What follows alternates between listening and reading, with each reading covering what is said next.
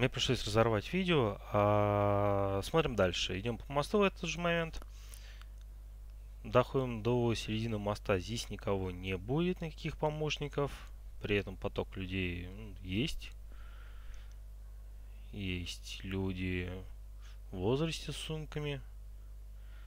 Есть даже люди с коляской. Девочка была. Так. Приближаемся к э, левой стороне моста. Не смотреть на него спереди. Как видим, до сих пор пока ни одного сотрудника помощи мы не видим. Ни сопровождающего кому-либо, ни ищем кому помочь. Мы их увидим дальше. Вон, собственно, две жилетки. Два человека стоят, болтают с одной стороны моста. Как видите, проезжают э, на электровелосипедах э, доставщики. Вот вдруг мы увидели, что на середине моста есть какая-то проблема. И мы побежали туда. То есть мы не стояли снизу, не ждали кому помочь.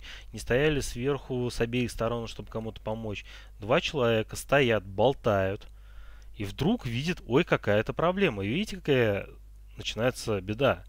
Женщина не может пройти, ей тяжело идти с сумками и с коляской.